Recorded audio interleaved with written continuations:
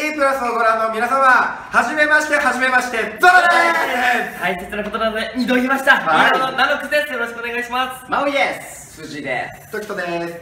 僕たちは今回全国ツアーを開催することが決定しておりました。5月27日東京 ESP6 月4日仙台。11日福岡。23日札幌。24日名古屋。25日大阪。そして最後は7月6日六本木 EX シアターでございます今回のツアーの見どころは？えー、そうですね。伸びしろですね。誰やねん！あ 違うか、えー、今回は、えー、いろんなものを僕たちで練って、えー、今作り上げてる。途中なので、えー、ちょっと今はまだね内緒ですけども。ウリミスもしかしたらもしかしたら時とのソロ曲3曲やるかもしれないです。ぜひ皆さん来てください。ということで皆様のご来場心よりお待ちしております。以上それでした